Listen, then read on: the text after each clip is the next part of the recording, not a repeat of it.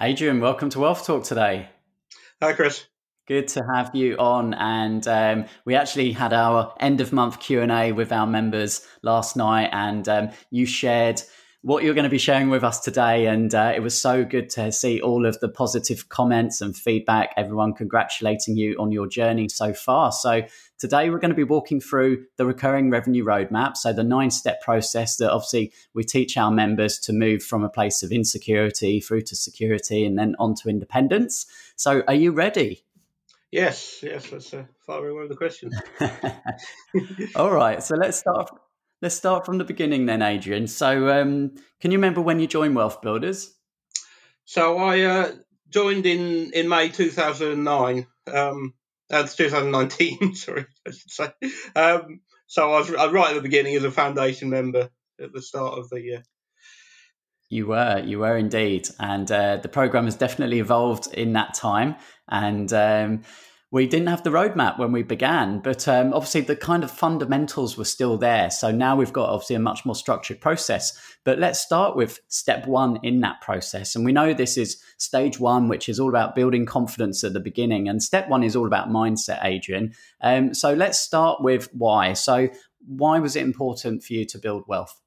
Um, I I'd reached the point really where I I was doing a the day job and, and, and doing well in the day job, but I realised I didn't want to still be there sort of 20, 30 years later, um, still in the same position, which is where I would have been if I just carried on as I was. So I realised there was a there was a need to do something different. Um, I wasn't sure exactly what it was at the time, um, but I, I, knew I needed to to do something to uh, to sort of get out of the just being stuck going to work, spending in a monthly salary each month and having nothing to show for it in the long term, really. Yeah. And, and what was it about wealth builders that attracted you? Um, it was the the no nonsense, no selling sort of approach that wealth builders take. Um, I'd, I'd, I'd attend, you know, I'd been in, quite heavily involved with a number of property training companies um, in the couple of years before I joined Wealth Builders, and and they all sell everything you go to, they sell you something else, sort of thing. Um, and wealth builders isn't like that. It's it's advice, and, and if you if you need if you need training, if you need something that you you, you are going to have to pay for, they'll point you in the right direction of where to go, which might be from within wealth builders, or it might be uh, might be from outside. Yeah, great. So so we got going, we got clear on your why, and the next step then is step two, which is the foundation step, which is really about getting crystal clear on how much asset income you're generating currently and how much you require in order to reach the next wealth level. So, which of the five levels of wealth were you at when you joined, Adrian, and, and where are you now?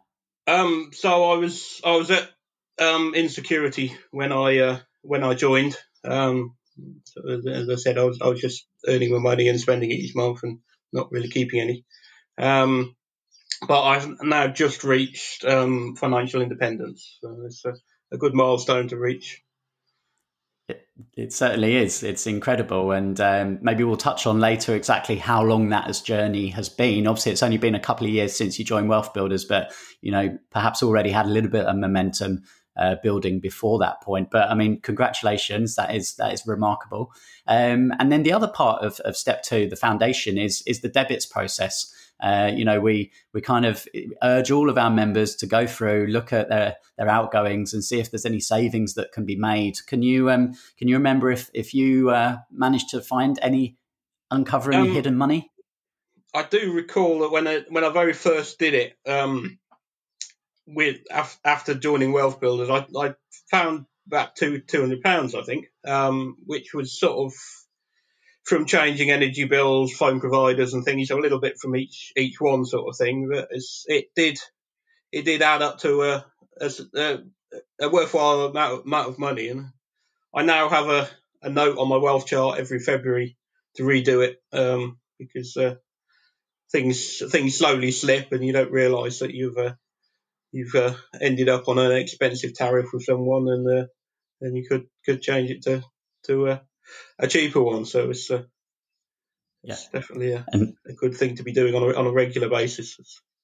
Yeah, and, and the key then is when you find those savings, Adrian, is to reinvest them in some wealth building activities. So, so where would that be for you? Um, well, for, for, myself, it's always been in property. So it's, it's property investments that I've been uh, putting putting the money back into that I've uh, I've been yeah. finding. Okay, great. So moving on to step three, final step of the uh, of uh, stage one here, which is the roof. So uh, were you able to review each aspect of the roof, Adrian, and um, just make sure that you had the necessary protection in place?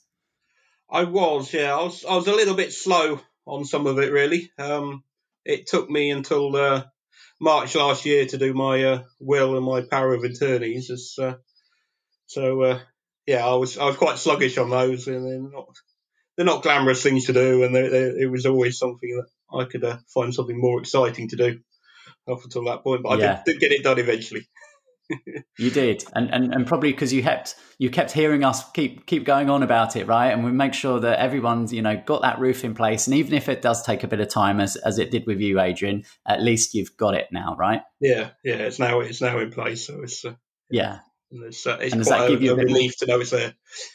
Yeah, well, I was going to say, does that give you a bit of peace of mind now, knowing that you've got that safety? Yes, yeah, definitely. Yeah. Good. Okay, moving into stage two now. So, stage two is all about building knowledge, and we begin with step four, which is assets. So, of course, the seven different assets that we refer to as pillars, which you can build your wealth in, Adrian. Uh, which did you already have some experience with when you first joined?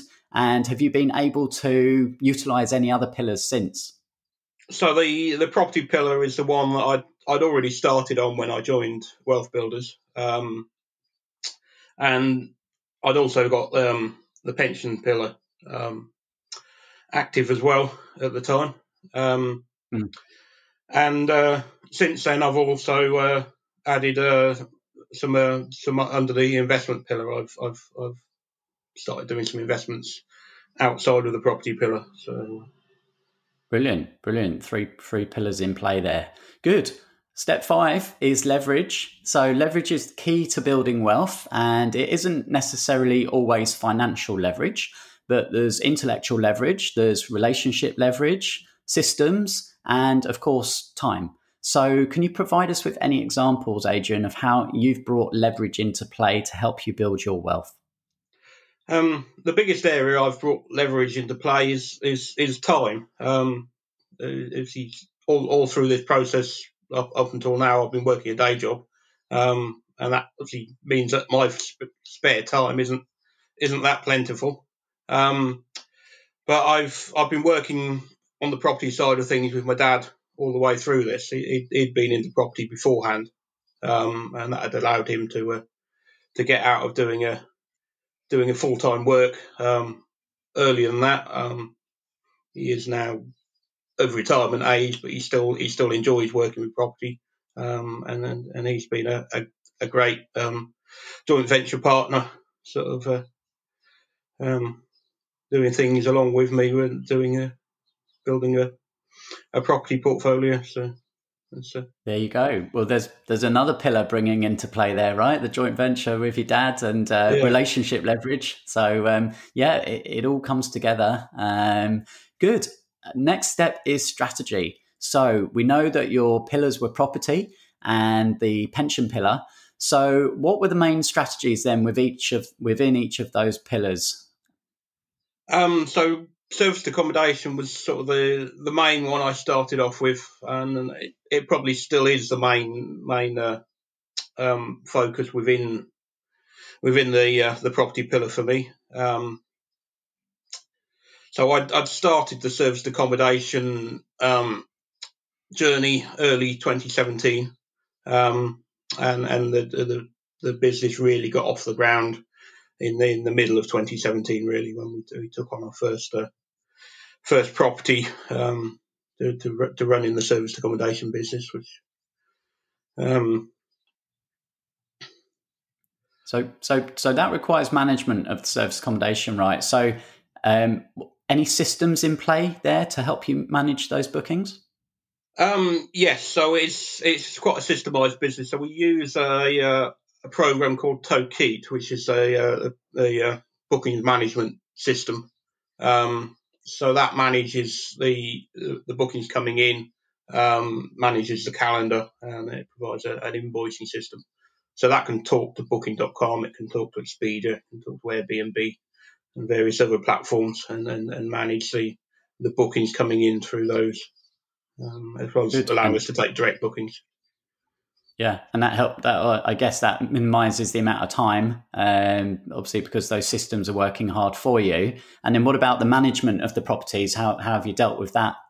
Um, so the the management is largely um, taken care of by our our housekeeping staff. Um, so uh, con- contract cleaners, uh, uh, uh we work with two two cleaning companies. We've got two areas where we've got SA, so two two separate cleaning companies, one in each area. Um, but they they're the really the uh, the ones that look after the property on a on a day to day basis in in between guests. Um, they they they'll go in do a do a full clean, change all the linen, manage cleaning, getting the, the linen washed and so forth. Um, and they report any any issues that they that are found. So they've got sort of a, a checklist to go through um, to make sure that the uh, the place is ready for the next guests arriving. Um, so they just get a message. They, they get told when the, when the guests are arriving, um, when they're leaving, and uh, and they go in and, and, and do the uh, the cleans in between. So it's, it's sometimes it's quite nice when you realise a guest has come and stayed and, and, and paid, and you haven't even done anything. I bet. And and how, how have you fared? Obviously, service accommodation in some areas took a hit during COVID. Um, you know, what's been your tenant type, and how have you found the business? Um, we've not been too bad on that really, because we we set up the business right from the beginning to aim at um, business travellers and and, and um, contractors and so forth. So the, the properties we've chosen aren't in tourist areas; they're not not really aimed at tourists. Um, so all down the all through the various lockdowns, we were able to um, to carry on taking bookings. Um, the number of guests dipped. Obviously, there were there were less people travelling for business.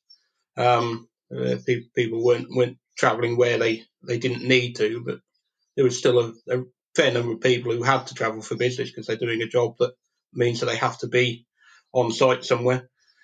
Um, so we still kept bookings coming in um, all the way through the uh, the COVID period um, at a reduced rate, but we were we were also to, able to claim government grants um, in the same way that all businesses have been able to. So uh, overall, we've we, we probably uh, fared quite well out of that and uh, made more uh, more profit than we uh, would have done in a, in a standard year, I think. Yeah, that's good. And obviously now, you know, I guess the bookings are flourishing even more because people are, you know, desperate to get out and start moving around again. Yes, so uh, yeah, now there's there's a shortage of accommodation everywhere. So uh, we've got bookings from all sorts of people coming in at the moment. So it's yeah, as, soon as any anywhere's available, someone someone will book it for for one reason or another at the moment. So. Yeah, and now, the other interesting thing when we talk about wealth building, Adrian, is obviously ownership of assets, but you can also control assets. So, some of those service accommodation properties. Um, tell us a bit more about you know how how you've how you've gone about acquiring those properties.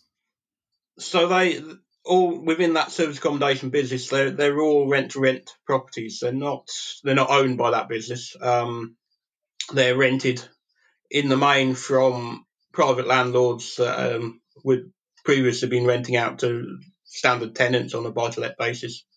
Um, but they've uh, realised that we're a, a good uh, tenant to have in there. We give them much longer um, occupancy than uh, than a, a, normal tenant would when they'd be leaving every every few years, and the the, the uh, landlord would have to find another tenant. So, uh, um, so it's not many landlords we've got. Um, there's most of the properties are owned by a small group of, of landlords, um, and that keeps keeps interfaces to a, to a, to a minimum. It, it, makes it easier easier to manage everything on from, from both sides, but it it's it allows us to to not have to buy the property to, to start the start renting it out.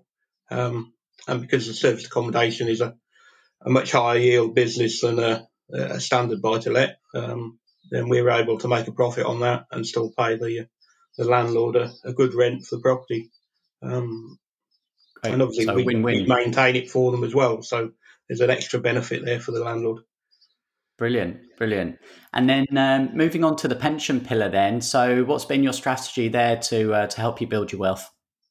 Um, so I'd set up a SSAS just before I joined Wealth Builders. So I'd come across the the concept of SSAS, um, sort of connected with other property training I'd done previously. Um, and um, Empowered Pensions was the, the company I selected to uh, to set up my SSAS. Um, so obviously then through the link with between Empowered and, and, and Wealth Builders is, is, is when I came across Wealth Builders. So my my SSAS runs sort of quietly in the background. Um, I've lent um, money out of the SSAS um, to the limited company that we've now set up to, to, to buy property. Um, so that's the, the SSAS has enabled purchase of a property within that. Um, and then uh, other investments within the uh, in the pension are, are being set up, ready to uh, to bring more money into that. So, yeah. Brilliant. Good. Good to see the, the pillars working together. So let's move on into stage three then, Adrian. So we've built our confidence, stage one, we've built our knowledge, stage two. Stage three is building assets. So it's obviously taking those strategies, it's turning the wheel of wealth and um, and that means education, support, connections, due diligence, and then taking guided action. And this is where our wealth coaches are there each month to, to help our members stay laser focused and, and turn the wheel. So, what benefits have you gained from your coach uh, since joining, Adrian? Um, well, Bronwyn's my coach, and and she's been a, a great guiding hand really through through everything. Um, the one specific thing that sort of sticks out that uh, she uh, she helped me with February this year. I was uh, quite sort of quite a low point. Nothing nothing seemed to be happening as it as it should have been. Um, I was I was trying to refinance a property that that that um, was just taking forever, um, which is sort of just a, a side effect of of the, the, lockdown and everything else that's that's slowing down things at the moment. Uh, it and and that was was getting me down. Uh, just the the monthly uh, call with Bronwyn. Um, she, she she sort of picked me up, set me back on track, really. Um, and uh, yeah, after that, I've I've been able to move on as as I should have been, and, and I think without that that one particular coaching call that month, uh, things could have been completely different. And it's it's it's that sort of thing that you need. Not necessarily every month. Some months everything's going well and it's just a, a nice, pleasant chat on the on the coaching call. Um, but other months you, you really need help with something, um, and that help is really just pointing out what you what you already know. that um, you need you need somebody to do that sometimes. Yeah, I think that's a quite important point you mentioned there. You know, some months, you know, everything's just ticking along nicely. You know, there's nothing really that that you need specific help with. But the key is still to book in that call because it helps build that relationship. You know, your coach wants to hear that things are going well. You know, that that's good. It means the plan is working. Um, and there's always going to be hiccups along the way, right? So one month everything seems brilliant. The next month it's like all hell breaking loose. So the key is consistency and checking in with your coach every 30 days, uh, just updating them um, and uh, you know that was really good to hear. Obviously, Bronwyn, um, who's got so much experience, you know, she understands the process. Uh, so yeah, you know, very pleased to hear that. Um, so let's look at step eight, which is all about the results. Adrian, so you uh, you mentioned when you joined, you were at financial insecurity, and you've just recently hit financial independence. So tell us what's kind of tipped you over the edge. Um, so the, the one thing that's tipped me over the edge is, is that property that was I was struggling to get refinanced. Um, so that on its own has added a, another five hundred pound a month to the uh, to the wealth thermometer. Um, and that was a it's a it's a mixed use commercial property. It's a, a shop and upper. Um, and that was bought under auction conditions um, in November last year um, with a with a bridging loan.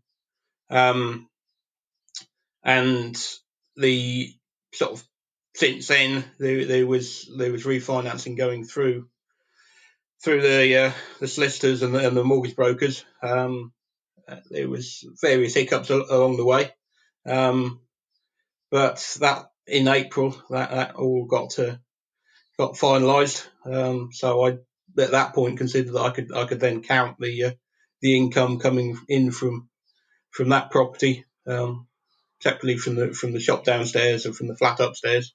Um, but uh, together they, they, they they bring in around five hundred pound extra a month, um, which uh, has, has, tipped that that wealth thermometer into yeah. the uh, independence.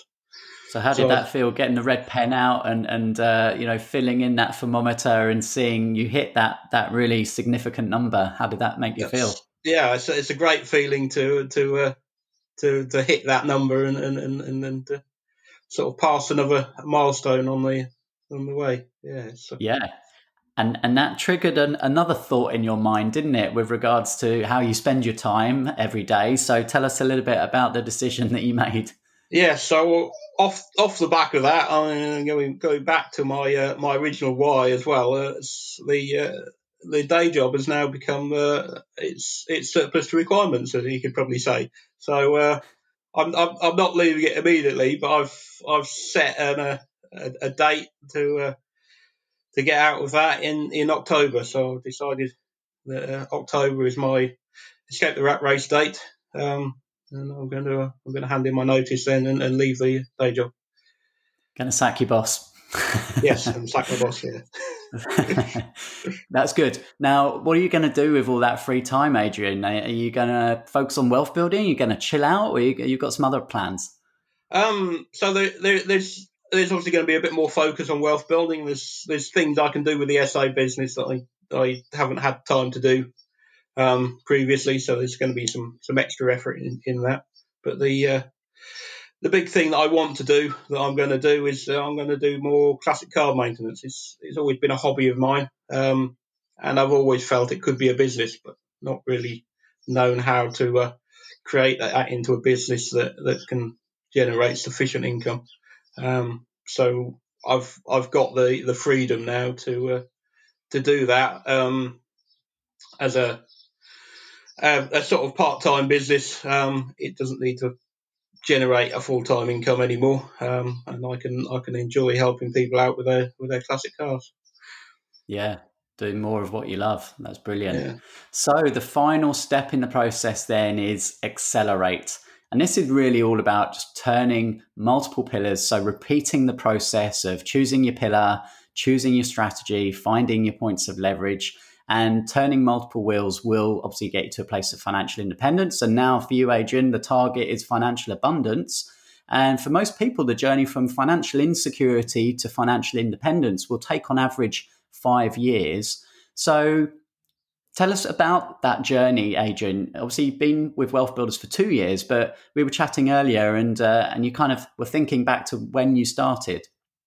Yeah, so my my journey really started in in in uh, 2017, um, which is when I started um, looking at the SA um, business. So it was it was January 2017 when I, I did the first training on service accommodation, um, and the business was building up in 2017. We took on our first property, our first rent to rent, um, around the middle of uh, 2017. I'm not quite sure if it was June or July, but it was uh, one or the other. Um, and uh, so that's yeah, it's taken me give or take a bit five years to to build up to uh, um, financial independence. So uh, yeah, yeah, yeah, that's yeah, almost almost five years, isn't it, to the month?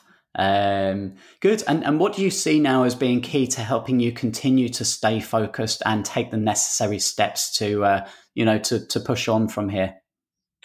Um, well, it's it's still I still need support. Um, no, nobody can do this without without support and guidance, and, and I think the I think the support from wealth builders carries on being completely relevant um, on, ongoing really from from from now. Um, the the the guidance of a wealth, wealth coach is still a still an important thing to have, and the uh, the the way that wealth builders breaks things down um, using the wheel of wealth and in, into sections. And see, I've I've been adding um, further strategies and, and, and, further pillars alongside the SA um, as things have gone along, and it's it's it's that guidance of of splitting things up into small chunks that's allowed me to do that, and I I, I, I will continue to do that in in the same way with uh, with the guidance of wealth builders, really. Brilliant. Yeah. And never let 30 days go by without taking some action to build your wealth. And uh, you've you've been doing that consistently, Adrian, and that's got you to where you are today. So once again, congratulations. And uh, thanks for being a great member of Wealth Builders. Always appreciate you sharing. Thank you for asking me on. It's, it's, it's been great to uh, talk about my story.